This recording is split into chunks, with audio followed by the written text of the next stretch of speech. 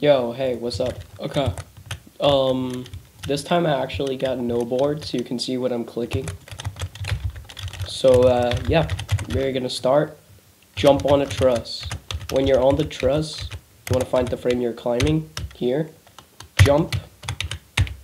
If you go to that frame and went forward, it should show you jumped off it. Okay? Now go to the same frame, turn around, and unpause. See? Then you can climb it again. Now this time when you climb it, you want to go two frames. So this one, this one, jump. It might glitch, but just turn around and see it worked.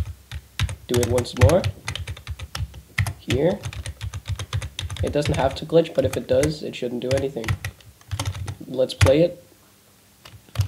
Bang. Okay, bye.